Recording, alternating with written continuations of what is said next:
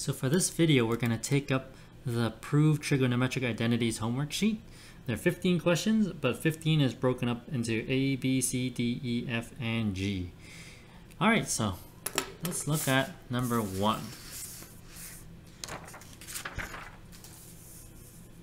So I would argue number one, two, and three are essentially the same questions. So for question one, their expectation is probably to use the addition formula for of sine to prove this trig identity, but you can easily just use equivalent trig expressions. So if this were to be on the test, I would be very, I'd be happy with either way of doing this question. Um, same could be said for number two. So we have cos of x plus pi over 2 equals minus sine x. So the way I did it was using equivalent trig expressions. Uh, but you could easily use the addition formula for cosine and get the exact same answer. And that's a theme for all 15 questions. There are many, many, there are infinite ways to prove a trig identity. Okay, I don't really care how you get about to prove it. As long as um, your proof is correct, then I am going to accept your solution. So number three, I did not use a subtraction formula for tan. I simply use equivalent trig expressions. Okay, let's see number four. So I use the subtraction formula for cosine and the addition formula for sine. Now be careful. When you expand using the addition formula for sine, you have to put the brackets because subtracting, because this, both these terms, uh, the sum is the addition formula for sine, not just the first term, so all of that. So put the brackets there. Okay, number five, let's see. So number five, I use equivalent trig expressions. So sine of pi minus x is sine x, and tan of pi plus x is tan x. And then simplify, factor, done. Okay, number six, uh, I use my, on the left side, I use the double angle formula for sine and double angle formula for cosine. Uh, if you didn't use the version I chose, you would just have an extra step, but no problem. It simplifies to cotan x very nicely. Okay, number seven, let's see. We have, uh, I used the double angle formula. Well, first I actually took the left side and I used the uh, reciprocal identities. So cosecant 2x is 1 over sine 2x, and secant x is 1 over cos x, and tan x is sine x over cos x. And then I use the double angle formula for sine, simplify, simplify, you get secant x. Number 8, I chose to work with the left hand side, and if you simplify, you actually get just cos x. If you simplify, you're, you're, you're left with cos x. Now, I stared at the right-hand side and I said, hey, just multiply numerator and, denominator, numerator and denominator by 2 sine x, and then we're done.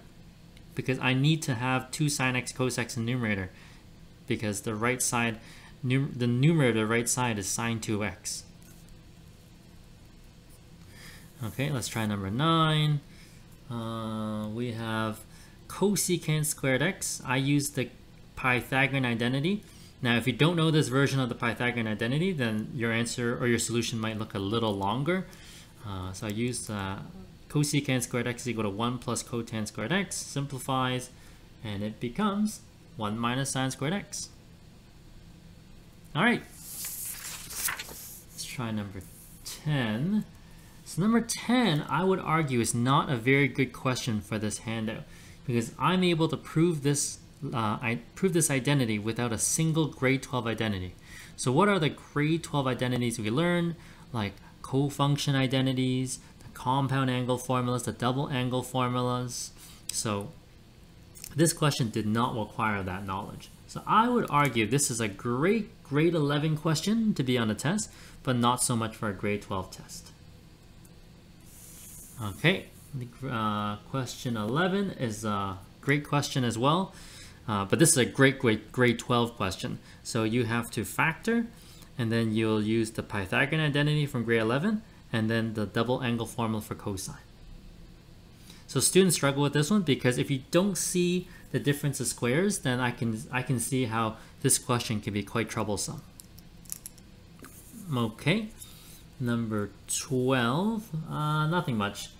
Just as one is similar, very similar to one of the previous questions. Subtraction formula for cosine, addition formula for cosine.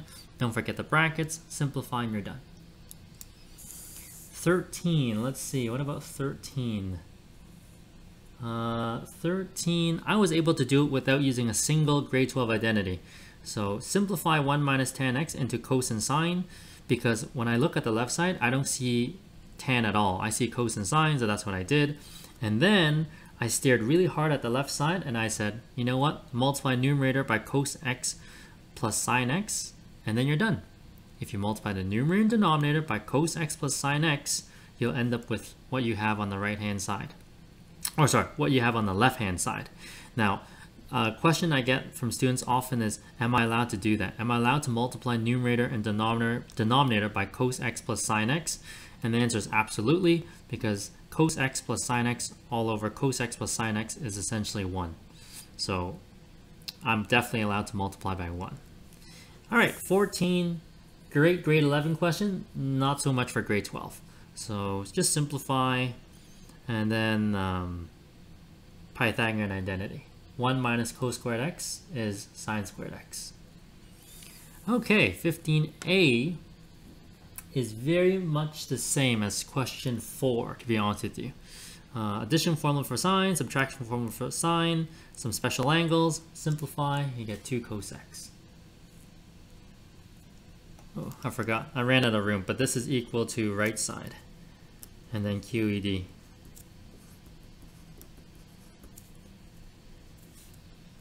Okay. How about 15b? Addition formula for tan on the right side, and then it works out. 15c, let's see, we have cosecant 2x plus cotan 2x equals cotan x. Definitely work with the left side. It's much more complicated. I use the reciprocal identity, uh, the quotient identity, uh, simplified, and then double angle formulas, and I get cotan x. Just show you the rest of the solution.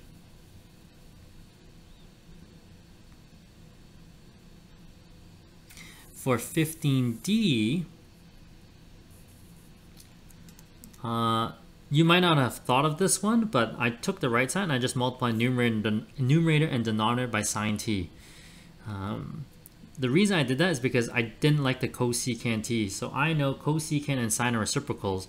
So if I multiply those two, I get 1. And I really wanted a 1 in the numerator because I saw left side of was quite simply secant 2t. So if you didn't think of that, that's perfectly fine. You could have done this, proven this identity a totally different way. But I, like I said, my strategy is always to be the most efficient as possible. Granted, I may not have found the most efficient way. Beautiful. Double angle formula, secant 2t. Done. All right, three more to go. So we have 15e. Uh, definitely work with the right hand side. Just some simplifying after a double angle formula for sine. Just simplify. Not much to say.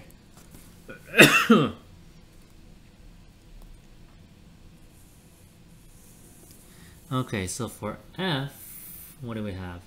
Uh, I chose to work with the right hand side. I can see some of you working with the left hand side, but I chose to work with the right hand side because I saw cotan 2x and now cotan 2x is essentially you take the double angle formula for tan and then take the reciprocal. So the double angle formula for tan is 2 tan x all 2, 2 tan x over 1 minus tan squared x. So take the reciprocal, which is 1 minus tan squared x all over 2 tan x. And then simplifies very nicely. You want to break up that fraction in, into two terms because the left side is cotan x minus tan x. So break it apart and you're done. Cotan x minus tan x. So the, I would argue that the hardest part to this question is just taking the reciprocal of the double angle formula for cotan, uh, for tan, sorry. All right, G, last one. Uh, this actually is the half angle formula for cotan. But anyways, uh, double angle formula for cosine, double angle formula for sine, and then simplify and you're done. Alright, hopefully you found this sheet to be uh, not so bad, but this is something you can expect on the test.